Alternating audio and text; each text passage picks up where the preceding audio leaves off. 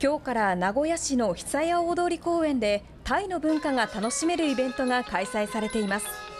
魅力あるタイの文化に触れてもらいたいと2005年から続くイベントで